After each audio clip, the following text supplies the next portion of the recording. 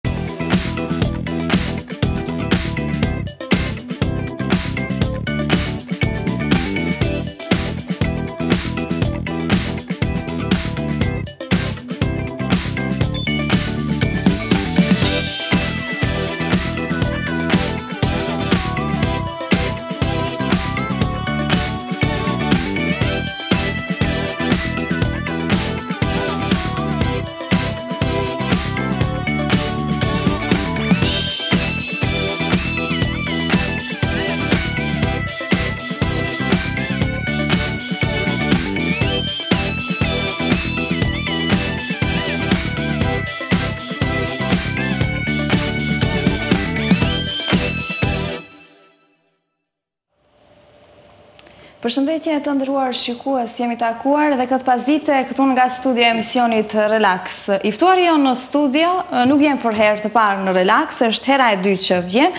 Vjen nga fshati Llojan, fshat që gjendet në mes Kumanovës dhe Preshevës. Ai merret me publicistik, ka marrë pjesë nëpër shumë ligjërata, tribuna dhe debate, ka qenë redaktor i revistës mujore Zëri i Shqiptarit, me qendër në Prishtinë, ka shkruar për revistën Paqja dhe së fundi edhe për Shenja, gazetën Shenja. Gjithashtu merret rregullisht me sport, ka marrë pjesë shumë herë në gara maratonike, si dhe është njohës i mirë i llojit të artit marcial Wing Chun. Ky është libri i tetë, kurse deri më tani ai ka botuar edhe këto libra. Është libri i tetë romani që ju e shihni në tavolinë që e kemi, bëhet fjalë për Lumbardhin e gjyshes. Ndërsa, i përmendim edhe një herë një rezime të shkurtër edhe të librave që i ka botuar deri më tani, Rrugëtimi nëpër mjegulla, ese, shkrime dhe polemika, Mëngjesi i hershëm, roman, Krimi ekonomik, Rrjedhat ekonomike në fshatin Llojan, Beteja e paqes, libri Rinia dhe liria është libër dhe Shtrati i lules, që përbëhet me aforizma. Bëhet fjalë për Iljasa Salihun. Përshëndetje dhe mirë se erdhe në Relax. Përshëndetje dhe faleminderit për ftesën. Faleminderit edhe nga ana juaj, ashtu siç e ceka, sot ne do t'i kushtojmë këtë emision do t'ia kushtojmë kryesisht romanit tuaj të fundit, domethënë Lumbardhi i gjyshes. Mund të themi që është edhe një si një lloj promovimi i i këtij romani. Mirëpo para se të futemi në në temë, Iljasa, ne jemi ne jemi mësuar që ti të shohim në libra shkencorë, domethënë dhe tani në radhën e fundit të gjejmë me një krijimtari apo me një vepër letrare. Mund të na sqarosh pak? Po, faleminderit. Duke qenë i kujdesshëm në moscenimin e kërshërisë për ta lexuar romanin, ngaqë vlerësoj se ende kemi njerëz që nuk e kanë lexuar, por dëshirojnë ta lexojnë. Dhe unë si autor i romanit është mirë që të mos të mos e shpalosi të tërin, kështu që kalimthi mendoj ta kalojmë prezentimin e romanit. Është e vërtetë ajo që thatë se unë kam botuar edhe libra shkencorë, por nuk është, meqë nuk është romani i parë, është romani i tretë, gjithmonë kam, kam notuar mes librave shkencorë, apo vështrimit shkencor dhe vështrimit artistik. S'do mend se subjekt, subjekti i trajtimit është i njëjtë, por qasja ndryshon. Atë që nuk kam mund ta shpalosi, ta jap, ta shtrij në librat shkencorë, ma ka mundësuar gjinia letrare, romani. E ke gjetur, domethënë, veten, nëse mund të themi më tepër në shkruajtjen e romaneve, meqë deri diku e ke shprehur atë mllefin ose atë vërejtjen ose atë qortimin që ti e ke brenda. Iljasa,, Lumbardhi i gjyshes, me të vërtet është një titull që me siguri edhe shikuesit janë kuriozë ta dinë, mirëpo ashtu siç thamë, ne nuk do e bëjmë shpalosim shumë, domethënë titullin, pse meqë me të vërtet shikues të nderuar ia vlen që ta lexoni romanin, unë arrita deri diku, domethënë që Përfundoj leximin e romanit. Tani romanin ti e fillon me Gëzimi. Meqë Gëzimi, gjyshja, malësorja dhe babai i malësores janë personazhet kryesorë që figurojnë në romanin Lumbardhi i gjyshes. Unë tani do e them atë variantën tim, domethënë atë që kam arritur unë ta kuptoj dhe ta perceptoj gjatë leximit. Në shkurt të vitit 2032, domethënë tani jemi në vitin 2016, Gëzimi, personazhi kryesor nëse mund ta quajmë, i mbushte 18 vjet. Domethënë, ai i bie të ketë lindur në vitin 2014. Deri diku, Këto lloj festash në fakt nuk i interesonin shumë Gëzimit, nuk e di pse nuk ndjente ndonjë farë gazëllimi për të festuar ditëlindjet e tij. Në fakt Gëzim ia kishin vendosur emrin prindërit, nëna, meqë ishte më tepër në fakt e priste me padurim lindjen e Gëzimit dhe në një farë mënyre duke mos harruar vitin dy mijë e katërmbëdhjetë, Domethënë koha kur për shumë njerëz shumë pak ekzistonin gjëra të mira dhe për këta, si për shumicën e popullatës, lindja, ardhja e Gëzimit ishte një dritë në fund të tunelit, nëse mund ta quanim ne ashtu, dhe për atë arsye vendosën që t'ia lënë emrin Gëzim. Ishte kjo ajo unë që arrita ta kuptoj tani varianti që ti mund të na tregosh. Padyshim këto që i theksove janë specifikat e ngjarjes, zhvillimit, por ajo që unë mendoj ta ndaj me shikuesit është se pse pikërisht në këtë formë kam shkuar, pse diçka kam bë fjalë për vitin dy mijë e tridhjetë e dy kur dihet mirëfilli se jemi në vitin dy mijë e gjashtëmbëdhjetë. Është e vërtetë se ne jemi mësuar që të sotmen ta kërkojmë prej këndvështrimeve të ndryshme. Njëra prej atyre është koha e kaluar. Përmes përmes ngjarjeve në kohën e kaluar kemi mëtuar dalim te koha e sotshme. Ngaqë unë vlerësoj se koha e sotshme është mbretëresha e kohrave. Por unë në letërsi, në libra shkencorë nuk kam pa gjithë aq që njerëzit kohën e sotme e kanë shikuar nga këndvështrimi i kohës së ardhshme. Pse pikërisht koha e ardhshme? Sepse në një farë mënyre përmes trajtimit të kohës së ardhshme ia kam bërë me dije atyre që kanë vepruar se nëse se në sajë të veprave të deritanishme kjo do t'ju gjejë. Jo pse unë kam parashiku ndonjë diçka që patjetër duhet ndodh. Mhm. Nuk janë nuk është me rëndësi shumë ajo se çfarë në të vërtetë do të ndodhë në vitin 2032, sa është me rëndësi ajo se si shikohet prej vitit 2032, viti 2014. Mhm. Gëzimi kishte lindur në vitin 2014, pikërisht në kohën kur Përmendorët vlerësoheshin më shumë se njerëzit, kur qytetarët përgjoheshin e nuk dëgjoheshin prej qeveritarëve.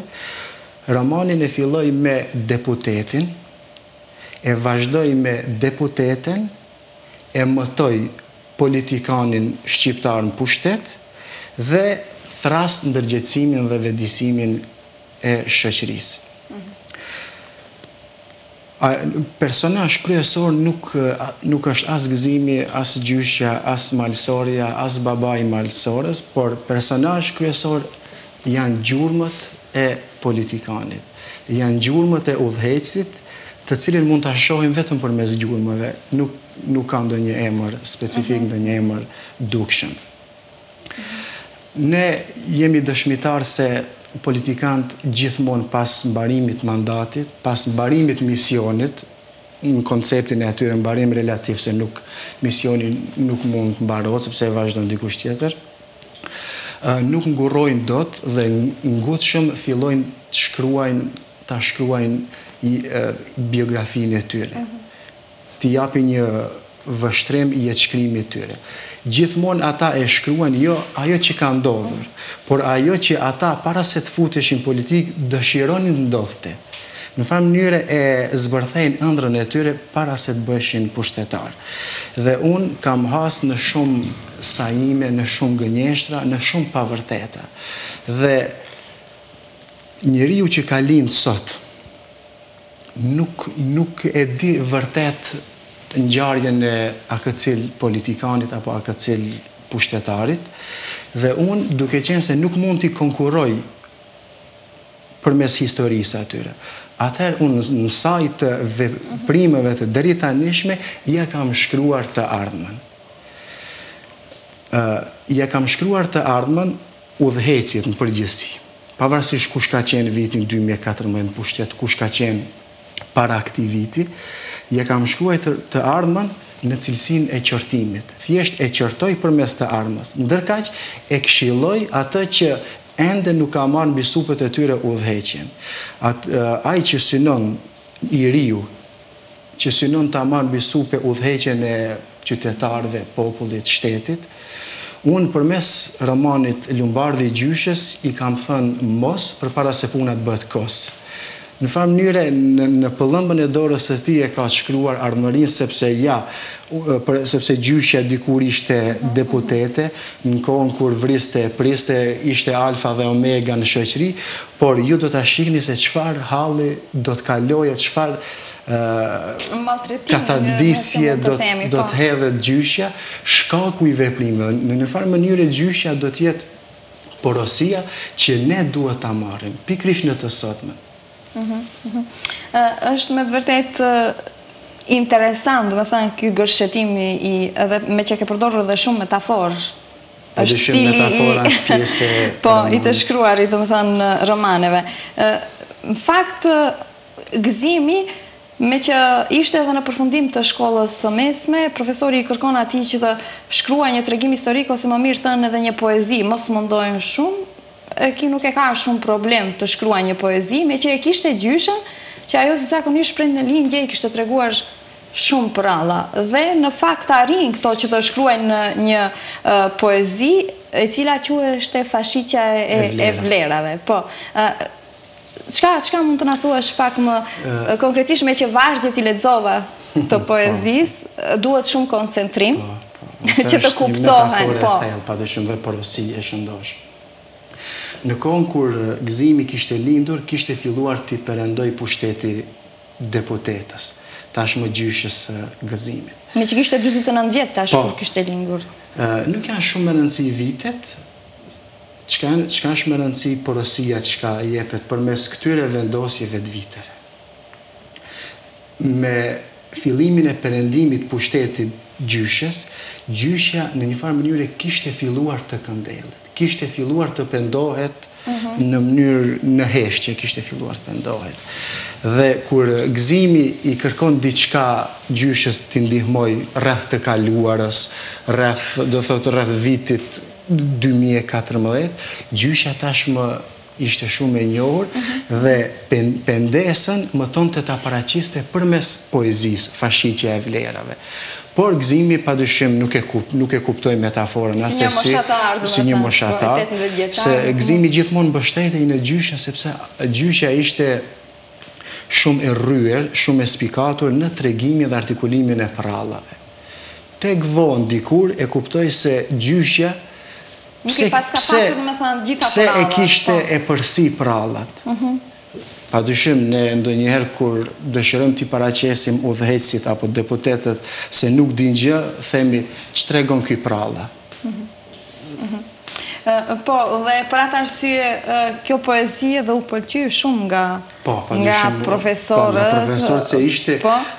tregohej e vërteta e vitit 2014, në mënyrë metaforike dhe me pak fjalë. Mhm. Me pak fjalë mund të kuptoje shumë. Po. po kjo në farë mënyre ishte pastaj edhe rrugëtimi i Gëzimit mhm, mhm. drejt të vërtetës, drejt realitetit, sepse Gëzimi ishte mësuar të jetonte në një bollëk financiar, në një mirëqenie të jashtëzakonshme. Mhm. Gëzimi i shihte të tjerët përmes gjendjes së tij. Po, dhe gjendja e tij, s'do mend se ishte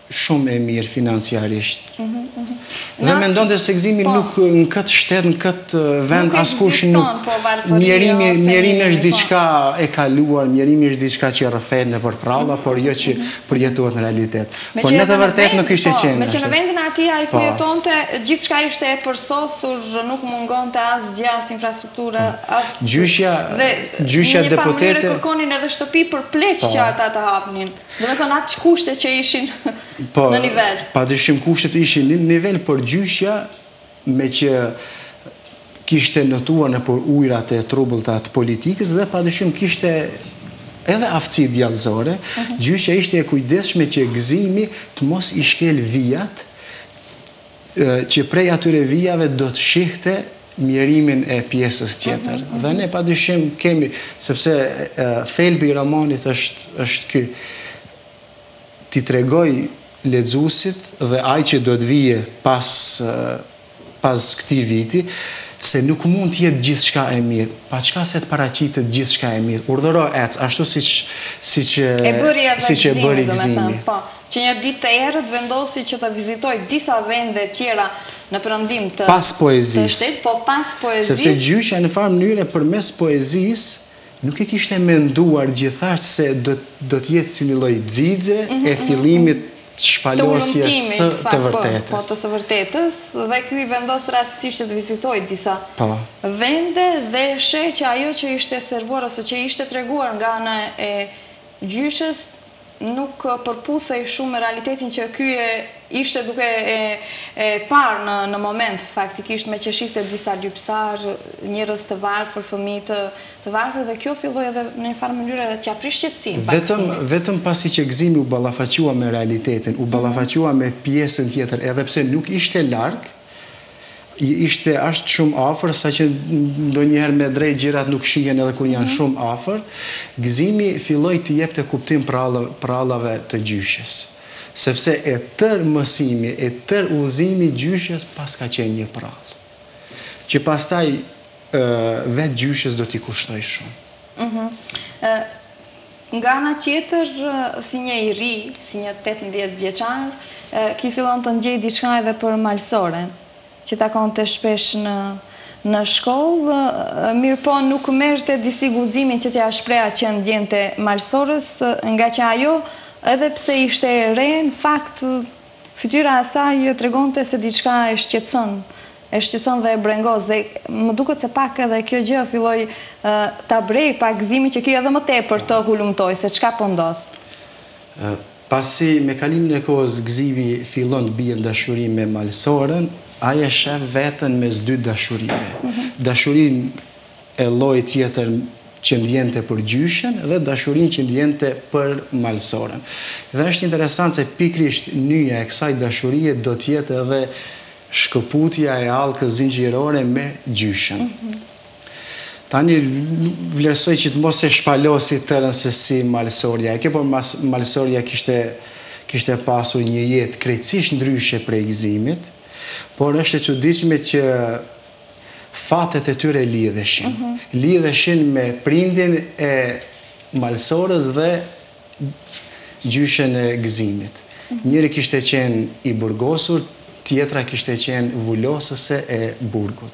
Dhe pikrisht aty pastaj fillon fillon Gëzimi edhe më tepër ta sheh realitetin dhe gjyshja fillon edhe më tepër ta paguaj çmimin mhm. e veprave në të kaluarën. Mhm. Meqë në një farë mënyre edhe ajo është e vetëdijshme se ai raport që ka me Gëzimin do të ftohet dhe Në një farë mënyre mund edhe të shkëputet krejtësisht. Me të vërtetë, të gjithë shikuesit që për momentin janë duke na ndjekur, janë kurioz të dinë se çka fshihet edhe më tepër në këtë në këtë roman. Iljasa, me siguri të është dashur një një periudhë e gjatë kohore, nëse mund të themi, Që ti ta përfundosh këtë roman, kur e ke filluar romanin? Padyshim varet prej njeriut. Fjala bie, unë atë idenë e parë në letër e hedhi shumë shpejt. Mhm. Do thotë diku dy muaj më është dashur vetëm dorën e parë apo hedhjen e parë. Mhm. Ndërkaq pastaj korrigjimi, ndonjë qëmtim, ndonjë ndonjë shtesë, diku një, një vjet e diçka. Mhm, të është dashur po. që ta përpilosh në këtë mënyrë që ne po, po, kemi tani në dispozicion. Se si ide shpejte, se ashtu natyra e romanit është ashtu siç duhet të lexohet me një frymë, në një farë mënyre duhet edhe shkruhet me një frymë, e kjo nuk merr shumë kohë. Mhm. Ty të preokupon e përditshmja, domethënë? Dhe me atë fillojnë edhe shkrimet e tua. Pa qeter, unë prej kohësh, qysh atëherë kur lexoja shumë romane, më kanë brengosur autorët që fjala vjen në kohën e komunizmit shkruajnë për një perandori të caktuar. Pasi të perëndojë komunizmi, shkruajnë për komunizmin. Gjithmonë i shmangen kohës së tanishme, kur dihet mirëfilli se koha e tanishme është alfa dhe omega. Pak punë nëse unë para një jave kam ngrënë një ushqim shumë të shëndetshëm. Pak punë nëse pas një jave do të ha një ushqim shumë të shëndetshëm nëse sonte jam i uritur. Mhm. Dhe kjo më ka brengosur. Pse, pse i shmangen realitetit? Me kalimin e kohës e kam kuptuar se kjo është një mënyrë, një lloj i servilosjes ndaj pushtetarëve. Gjithmonë keqbërësit nuk i është thënë në fytyrë se më fal, ju jeni keqbërës. Gjithmonë keqbërësit i është buzëqeshur, ndërkaq me romane apo me libra tjera e kanë kritiku një keqbërës që edhe eshtrat i janë bërë hi. Edhe. E unë, padyshim në vete veprimtaria ime ngërthen paksa edhe rrezikun, sepse me ujkun nuk përballem në kohën kur loz me lepujt, me ujkun përballem direkt me ujkun. Mhm. Pa i përzi kafshë tjera. Mhm.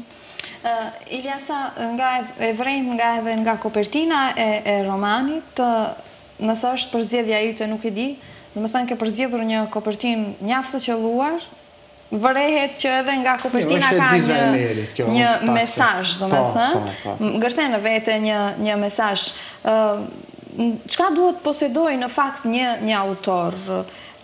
Cilat tipare duhet të posedojë që të dalë një një roman i tillë, domethënë që ne e kemi këtu në në tavolinë, që të jetë i kapshëm, që jetë Shiko, me vetë fakti se bëhet fjalë për vepër artistike, Me automatizëm na shkon mendja se bëhet fjalë për diçka për ndonjë dhunti. Mhm. Edhe dhuntia nuk parapëlqen shumë kushte standarde, po ajo që duhet, duhet ta, ta ketë një autor që shkruan roman është gjuha në të cilën shkruan. Duhet ta njohë shumë mirë, Gjuhën në të cilën shkruhet romani. Çështja tjetër, qasja, imagjinata, sajimi, tregimi, poezia, brenda romanit janë çështje e zgjedhjes së lirë të autorit. Sepse jo rastësisht ata që shkruajnë libër shkencor, tani që unë kam pas fatin ta përjetoj, je më i kufizuar, sepse je i përthekuar me më shumë rregulla, me më shumë standarde. Ndërkaq, gjinia letrare e romani ta jep një komoditet, një liri paksa më thjesht mund të shprehesh shumë më lirshëm seç mund të shprehesh në një libër të një gjinie po, tjetër. Po, një gjinie tjetër, po. Do vazhdojmë ne më tej bisedën, mirëpo tani do të shkojmë me një bllok publicitar, të nderuar shikues, qëndroni me ne, meqë i ftuari jonë në studio, do të na zbulojë edhe diçka nga nga romani që ju me siguri jeni kurioz.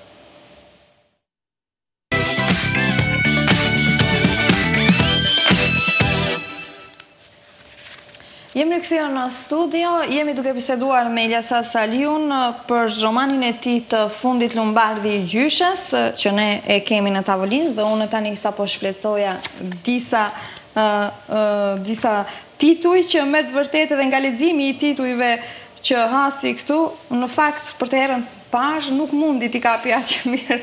Mirëpo nëse koncentrohemi, atëherë me siguri do e kuptojmë edhe mesazhin e autorit. Iljasa, vërehet qartë se ti e përdor kohën e sotme. Meqë në një farë mënyre dhe gjatë bisedës para se të fillojmë me emisionin, ti shumë mirë e the që përmes të sotmes në një farë mënyre e, e caktojmë edhe fatin e të së ardhmes. Patjetër. Mhm. Nëse veprat e tua, sjelljet e tua, investimi juaj në të sotmen është i duhur, i dobishëm, i frytshëm, atëherë Nënvetëdijshëm garantojmë vetes ardhmërinë e ndritur. Ngaqë ne për çdo ditë e jetojmë nga një të sotme. Ndërkaq, nesër, po kjo e sotme shtresohet në histori. Dhe çka nëse ne sot jemi shpërfillës duke menduar të ardhmën iluzionare?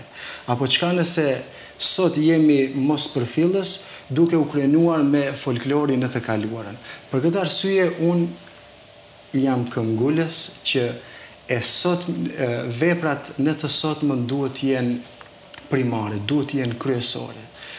Nëse humbet e sotmja vërtet e ke humbur edhe ardhmërinë. Aq më tepër kur në kuptimin relativ ardhmërinë nuk e dimë se kur e kemi, kur e kemi fundin nga kjo botë. Për këtë arsye e sotmja është mbreti i kohërave.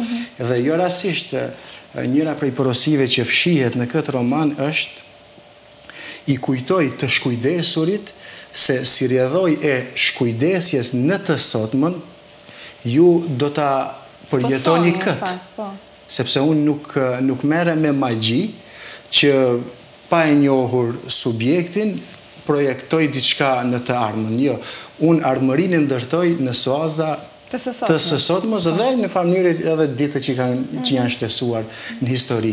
Po ajo çka është më e rëndësishme se kjo, sepse më e rëndësishme se qortimi është këshillimi.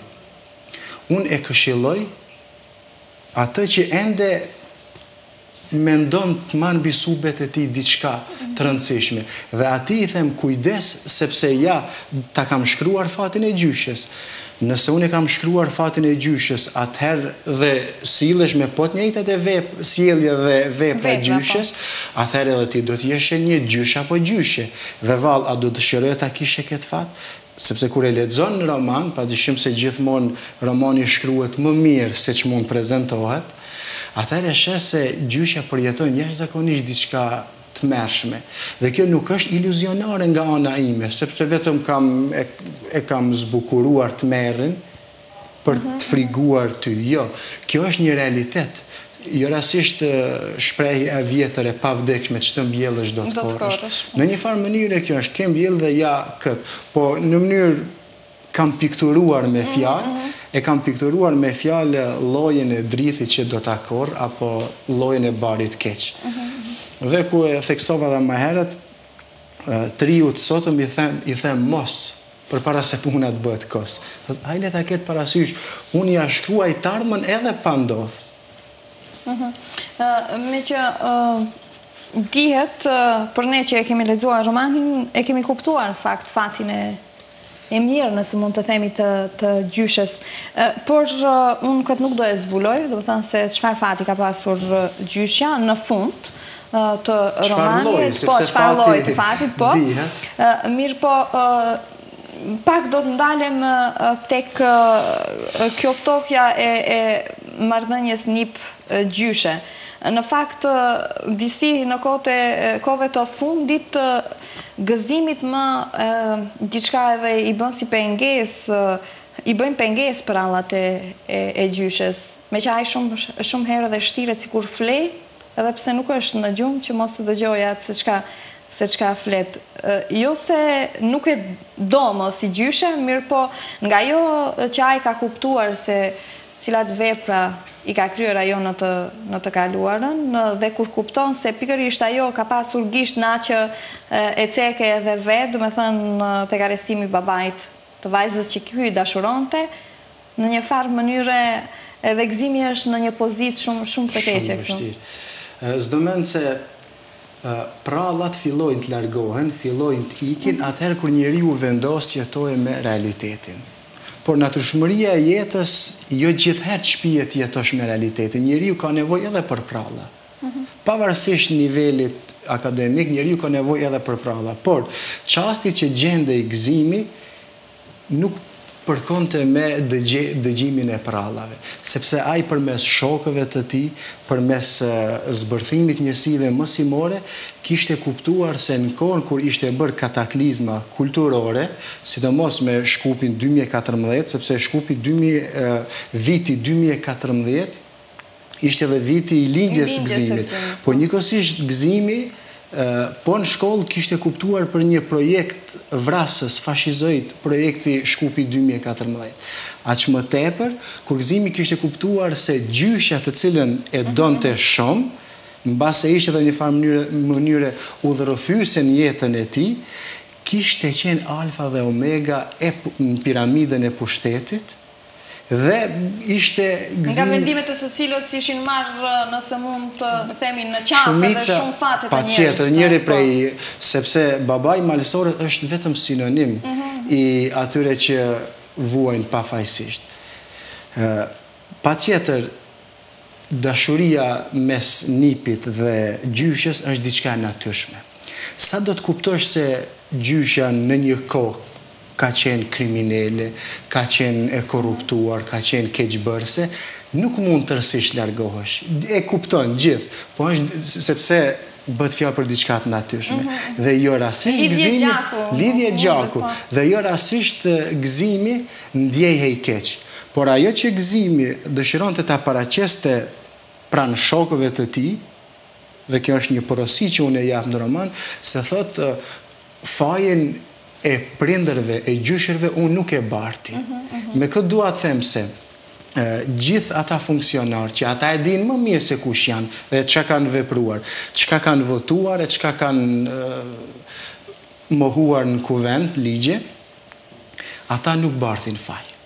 Kët si shoqëri se ne ndonjëherë gabojmë shumë, ë ky ka qenë djali i akëcil politikani dhe akëcil politikani ka qenë njeri shumë i dëmshëm.